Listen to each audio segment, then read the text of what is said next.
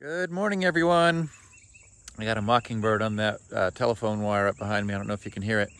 Hi, my name's Kevin Toppenberg. Refurbishing a Bridgeport mill. Uh, today's video is going to be a little bit shorter. We're going to work on getting the ram and the turret off the uh, column. And I really struggle with this one because it just stuck for quite a while. I'll have to show you how I end up getting it off. So come along, hope you enjoy the journey. I'm refurbishing a Bridgeport mill over there. If you look here, see how this has the original flaking powder, uh, pattern and here it's all gone. So that means that this is worn down below this level of surface. So really, if I'm gonna resurface that, I need to be able to make that all flat and even on both sides. So how am I gonna judge exactly whether it's flat or not? We'll usually use a surface plate for that, which is a very high precision surface. And I have a little tiny one here, uh, like that big but that's really not big enough for everything that I need. And then furthermore, when I go to do this part here, you know, I can, I could theoretically uh, maybe lift this up onto a surface plate, but think about how heavy that's gonna be. And so it's maybe better to put your reference surface there than putting this on the reference surface. And then furthermore, if you're gonna get into there, how are you gonna do that? So that's kind of where a, a machinist straight edge can come in. And here is the one that I've made, and we're gonna talk about doing that today. Well, future Kevin here. When I was filming this, I had planned on making that straight edge and using that to get all my surfaces nice and flat. Uh, I even made a whole video about uh, doing that. And at the end, I thought that I had it and had a viewer that uh, posted a comment that made me go back and check one last time and he was right it, it just wasn't flat so that kind of scrapped that whole plan for that but I think I'm able to uh, get the thing reasonably workable even without uh, scraping and remachining all the surfaces. Uh, Keith Rucker always uh, does this for his machines and I'm always very envious of his skill. Um, maybe someday, maybe someday I'll get there and have all the tools. Well, here I have my patent pending Drop-O-Matic 5000. I'm gonna try to get that head down. What could go wrong?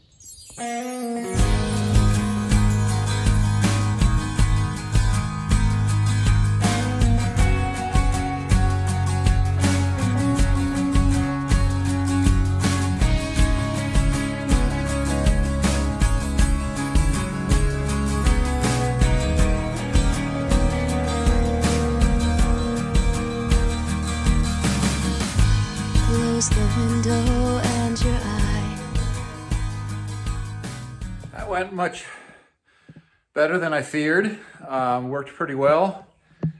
Got it safely down on the ground. Now I got to figure out where I'm going to um, store it. It's a it's an awkward shape and I think it probably needs to be somewhere down on the ground because I can just see it flipping if I set it up on something. So I'm gonna take it around and uh, get it settled down.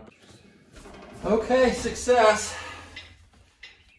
And this is where this head's gonna live until I get the base done.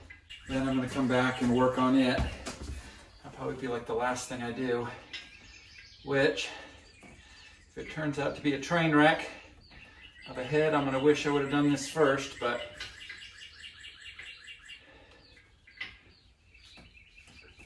it's all about the journey.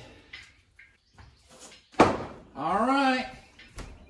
The next part to get off is this boom or whatever you call this part. And my other clone mill had a gib that you could pull out and it became quite loose, but for the life of me, I do not think this one has one.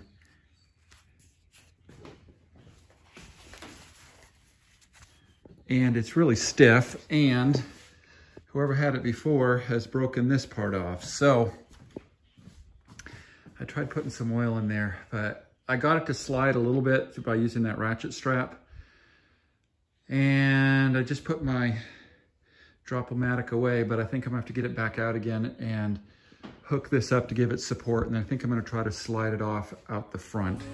Like queen, but you're not quite looking down on those traveling lights. I'd best be on my way.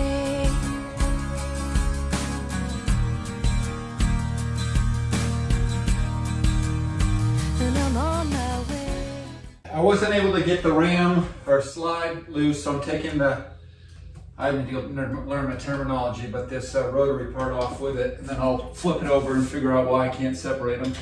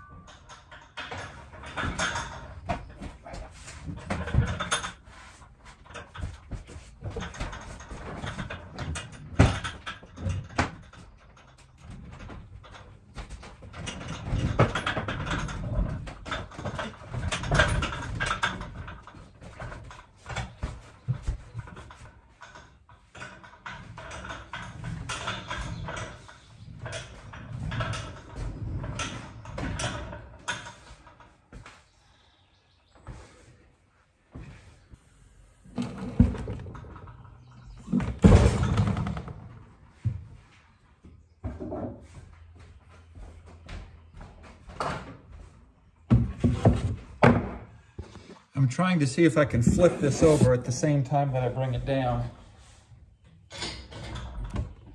At least onto its side. This table top is just sitting on the base and there's about this much about this much uh, overhang so really the weight needs to be in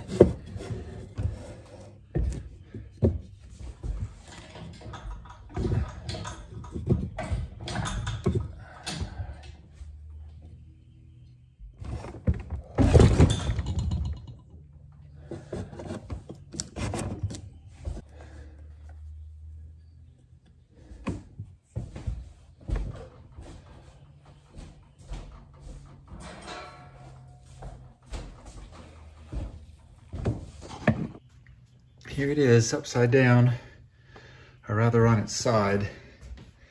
And I was thinking I was gonna be able to see what was going on in there, why it was not coming off. But I don't see it there either. So I think I'm gonna have to go do some research to figure out what the proper way is to slide this off. Still got these bolts in, and I know that there's these little square things in there. And maybe I'm supposed to slide the bolt out and then let those blocks slide. That might be a, a an answer. All right, I'm gonna keep working on it. Just see, I don't want that weight out past that ledge.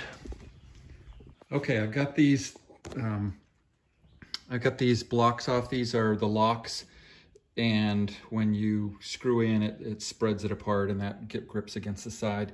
And these normally fit in here like this, and then they have those pegs to keep it from falling down in the hole. And I thought we could just maybe just pull it straight out, but um, there's a there's a high spot right there, and it looks almost like they manufactured it that way because maybe they didn't want them falling out.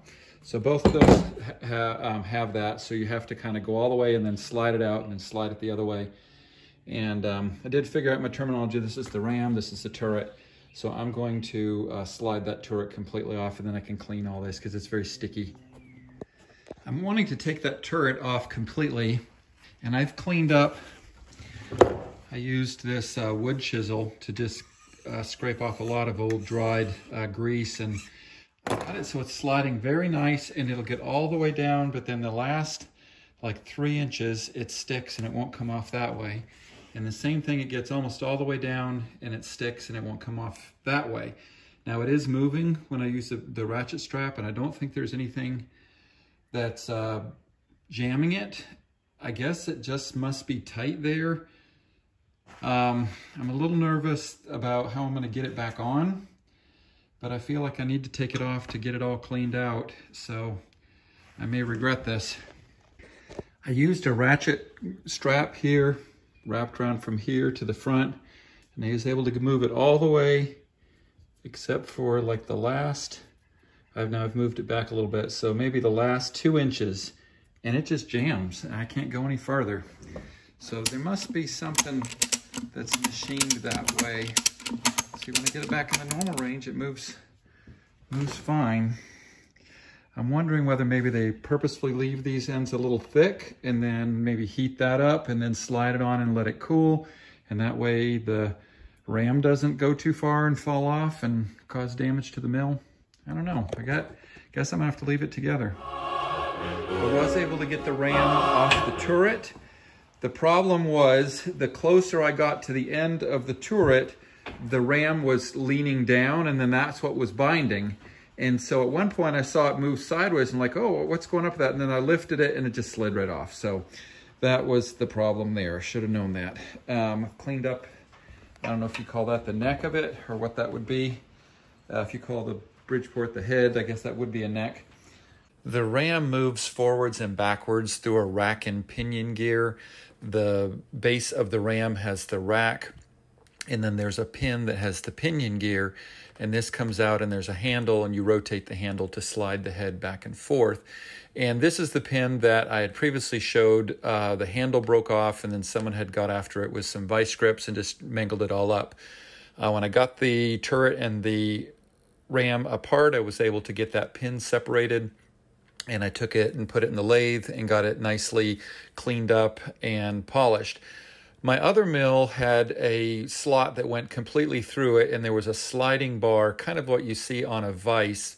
And you can slide that bar all the way to one side. You can get quite a bit of torque on it. And I thought about converting this into that form rather than having a uh, screw and a handle again. But ultimately, I decided to keep it the way it was originally. And uh, it seems like I'm getting plenty of force that way.